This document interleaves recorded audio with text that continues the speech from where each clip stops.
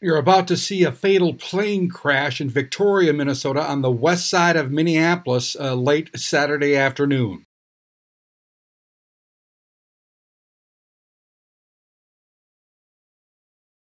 And this statement from the Carver County Sheriff's Department, quote, at approximately 5.44 p.m. Uh, Saturday, the City of Victoria and Carver County Sheriff's Office received reports of an airplane crash in Victoria in the vicinity of Rose Street near downtown.